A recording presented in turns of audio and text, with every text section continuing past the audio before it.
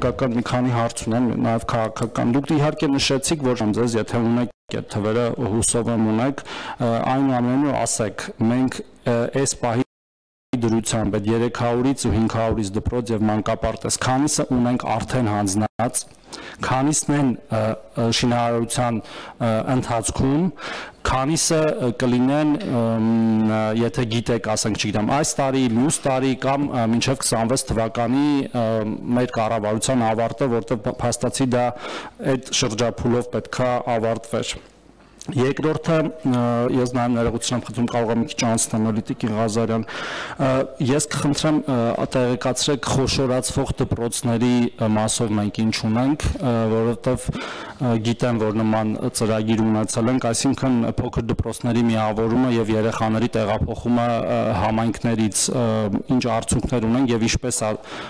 արդեն ունենք նման դեպքեր թե չէ, եթե չունենք, երբ կունենանք, արդյոք տրանսպորտի հարցը լուծվում է այդ դեպքում եւ ոնց է լուծվում ու վրա է այդ տրանսպորտի ապահովումը համայնքի թե դպրոցի փողով է տալիս համայնքը թե դպրոցը եւ սրանից բխող մի հատ հարց, տեսեք, վերջին տարիներին հիմա էլ փաստացի պետության կողմից կարծես ավանդույթ է դառնում երեխաներին տրանսպորտով տեղ ապխելը նախակրթական կամ կրթական հաստատություններ եւ այստեղ մի հատ ուրիշ հարց է ցակում այդ երեխաների տեղափոխման անվտանգությունը որը արվում է ըստ էության հայցողական մակարդակով մենք հա, շատերս հոլիվուդյան կինոներում կամ ինքներս տեսել ենք օրինակ այդ ամերիկյան դեղի մեծ ավտոբուսները որոնք շատ տեսանելի են կանգնելու ժամանակ հատուկ լույսեր ա վարվում իրանց վրա որ մեքենաները կանգնեն ես պիտի խնդրեմ ձեզ չգիտեմ դա ինչքանով է ձեր գործը թե ներքին գործերի նախարարության ինչ որ չափորոշիչ սահմանել ոչ միայն պետական տեղափոխող մեքենաների համար, եթե այդպեսի կլինեն, այլ նաև մասնավոր դպրոցների կողմից տեղափոխվել համար, որտեղ դրանք բոլորը միևնույնն է մեր մեր երեխաներն են եւ էական չի իրանք որտեղ են սովորում։ Եւ վերջի հարցը Տիկին Անդրեսյան, մենք վարչապետի աշխատակազմի հետ քննարկման ժամանակ մեր գործընկերները հարցրեցին Snoop Dogg-ի համերգի մասին եւ նա տեղեկացրեց, որ այդ ծրագիրը կգմսե տիրույթում է։ Խնդրեմ տեղեկացրեք այդ մասով մենք ինչ նորություն ունենք, որտեվ լեգիտիմ հարց կա, արդյոք այդ փողերը ի վերջո տրամադրված ծառայելու են իրանց նպատակին, թե այլ ճակատագիր են ունենալու շնորհակալություն։ Շնորհակալություն, պարոն Թորոսյան, նախ մտածելու հետ կապված ասեմ, որ լիովին համաձայն եմ մեր կրթական համակարգը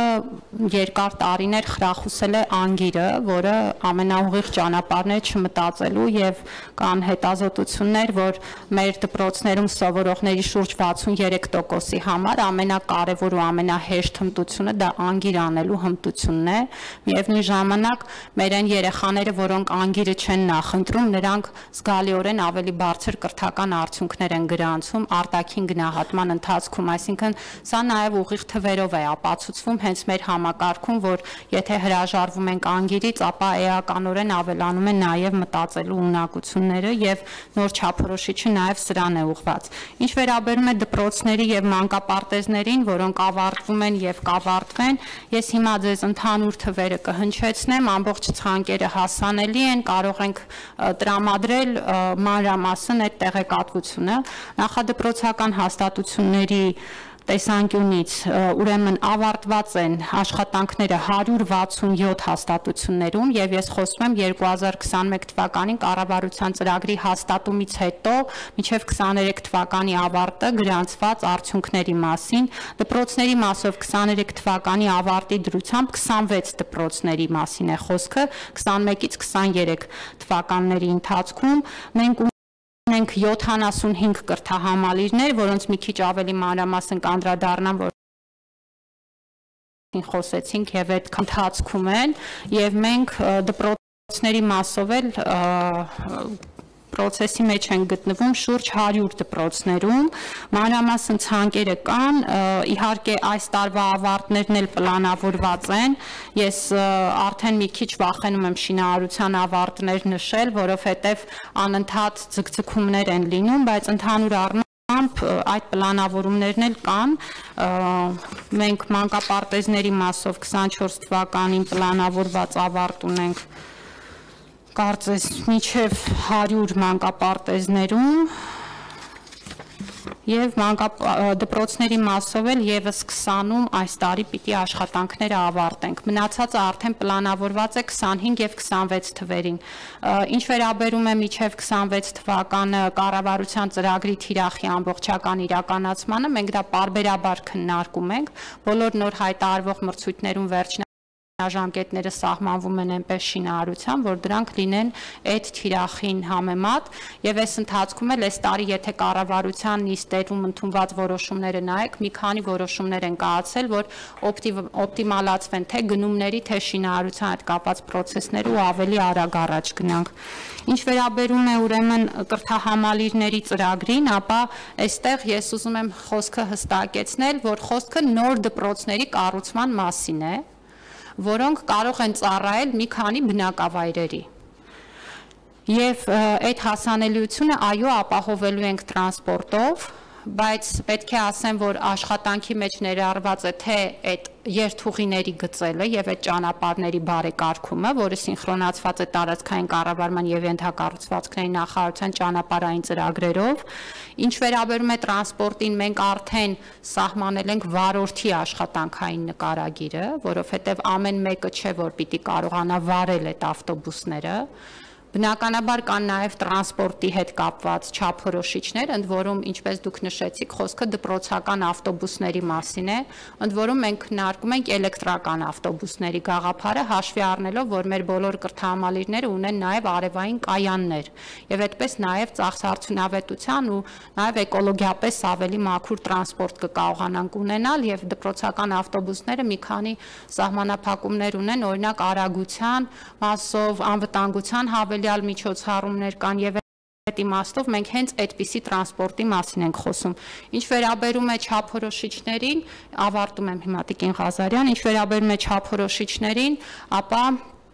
մենք ունենք տրանսպորտային ծառայությունների փոխհատուցման կարգ, այս պահին փոխհատուցում ենք այն երեխաների տրանսպորտը, ովքեր մի բնակավայրից մյուսն են գնում, եւ այդտեղ սահմանել ենք չափորոշիչներ թե վարորդների բուժզննության եւ այլ ուրեմն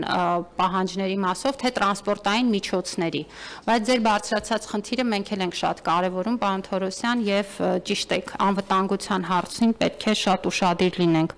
Այդ թվում նաեւ մասնավոր դպրոցների տեղափոխման Հոֆման, միանգամայն համամիտ եմ։ Ինչ վերաբերում է Snoop Dogg-ի համերգին, դա հայտնի պատճառներով հետաձգվեց անցյալ տարվա սեպտեմբերի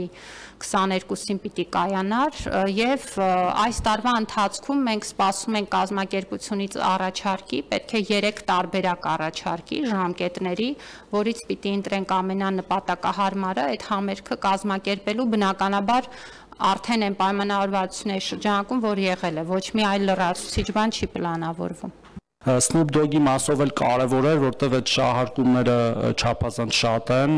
ֆիքսենք, որ այնուամենայնիվ համերգը կայանալու է, պարզապես քննարկվում է ամսաթիվը եւ ցանկացողներն էլ երբ որ པարզ կլինի երբակ կարողանան մասնակցել շնորհակալություն։ Շնորհակալություն պարոն Թորոսյան, մենք սպասում ենք ամսաթվերին։ Այո, նախնական ունենք տպավորություն, որ կարծես դա հնարավոր է օգոստոսին լինի եւ սպասում ենք գրավոր առաջարկի, որ เป զի նաեւ կարողանանք հայտարարել բայց կարծում եմ, որ իրենք էլ ոչ պակաս շահագրգիռ են, որովհետև տոմսերի հետ կապված իրենց խնդիրներ ունեն կարգավորելու։ Ինչ վերաբերում է վարորդների արտաքին տեսքին, սա էլ է չափորոշիչների մաս, նրանք պիտի համազգեստ կրեն եւ կարեւոր է ճիշտ եք ասում Ավտոբուսների արտաքին տեսքը նույնպես ճիշտ եք եւ պետք է նշեմ, որ մենք պլանավորել ենք նաեւ ուղեկցողի ծառայություն հաշվի առնելով, որ կարող են լինել նաև ավելի փոքր տարիքի երեխաներ եւ ուղեկցողն էլ նույնպես կարեւոր է որ ներկա լինի, որ เป զի ճանապարհին անհրաժեշտ ուրեմն աջակցությունը ցույց տա։